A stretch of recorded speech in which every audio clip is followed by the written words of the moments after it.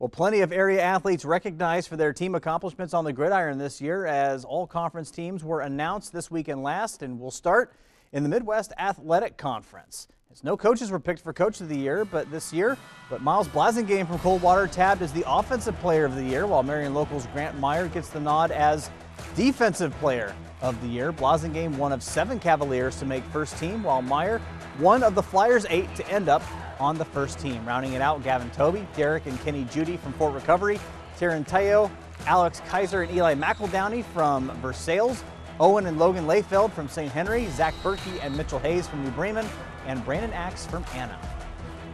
The Northwest Conference announced their teams last Thursday following their shortened regular season and three-week playoff structure. Andy Schaefer from Columbus Grove got the nod as Coach of the Year for their so far undefeated season. Blake Reynolds' contribution to the cause netted him Offensive Player of the Year honors, while Allen East Blake Hirschberger walked away with Defensive Player of the Year honors. Hirschberger, one of four Mustangs to make first team, including Braden Kremrine, Eli Myers, and Gabe Cribley.